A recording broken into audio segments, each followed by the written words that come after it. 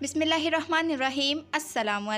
कैसे हैं आप सब? उम्मीद है कि सब वेल एंड गुड होंगे, बहुत खुश होंगे। आज आपको मैं सैंडविचेज़ की एक ऐसी स्नैक रेसिपी देने वाली हूँ जो कि बनती तो मिनटों में है, लेकिन इसको खाने में जो मज़ा आता है अमेजिंग तो बनाना इसको बहुत ही आसान है तो चलिए इसको जल्दी से बनाना स्टार्ट करते हैं। सबसे पहले यहाँ पे मैंने बॉयल्ड हाफ़ के जी आलू ले लिए हैं। इसको हम कद्दूकश कर लेंगे। आप इसको हाथों से भी मैश कर सकते हैं, लेकिन कद्दूकश करना इसको मस्ट है। तो यहाँ पे इसको मैंने सारे आलू को कद्दूकश कर लिया है।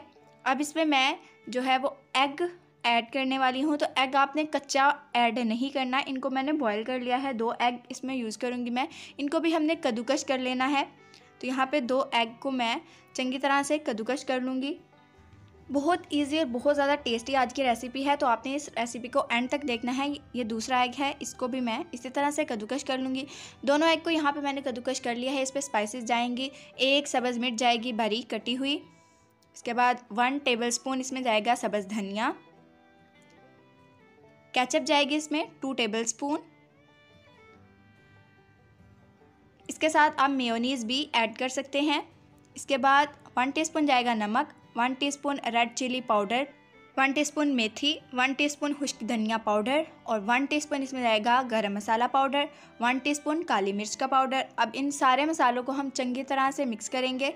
तो यहाँ पे देखिए, माशाल्लाह से इसकी चंगी तरह से मिक्सिंग जो है वो हो चुकी है। अब हमने ब्रेड के स्लाइसेस ली हैं यहाँ पे चार। तो ब्रेड के ऊपर हमने इसको इस तरह से लगाना है कि ये सारे ब्रेड के ऊपर इक्वली लगे।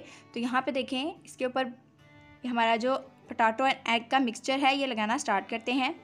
इसी दौरान जो चैनल पे न्यू है, अभी तक चैनल सब्सक्राइब नहीं किया, वो जल्दी से चैनल को सब्सक्राइब कर दे बेल का बटन ऑन कर दे। ये आप सबकी तरफ़ से हमारे लिए प्यार होता है, मोहब्बत होती है और एक इनाम होता है। तो यहाँ पे आलू को मैंने चंगी तरह से ब्रेड के ऊपर लगा दिया है और दूसरा स्लाइस भी ब्रेड के ऊपर इसी तरह से रख दिया है। दूसरे स्लाइसिस को भी हम इसी तरह से रेडी कर लेंगे। तो यहाँ पे मैंने पैन में वन टेबलस्पून घी को गरम कर लिया है। इसमें रख दूँगी ब्रेड और इसको हम एक साइड से सेकेंगे। दो से तीन मिनट लगेंगे सिर्फ़ मीडियम फ्लेम पे। तो यहाँ पे देखिए, माशाल्लाह से दो से तीन मिनट के अंदर हमारा कितना अच्छा सा जो सैंडविच है, ये बिल्कुल रेडी हो चुका है। आप इसमें चीज़ भी ऐड कर सकते हैं मेयोनीज़ भी ऐड कर सकते हैं। तो यहाँ पे दोनों स्लाइसिस को मैंने चंगी तरह से ब्राउन कर लिया है तो हमारे जो सैंडविचेस हैं ये बिल्कुल बन के रेडी हो चुके हैं। तो अब इसको मैं कट करके आपको बताऊँगी ये कितने सॉफ्ट हैं और खाने में ये कितने मज़ेदार हैं। तो आप इनकी सॉफ्टनेस पहले चेक कर लीजिए, बहुत ज़्यादा सॉफ्ट हैं, ये हार्ड बिल्कुल भी नहीं है।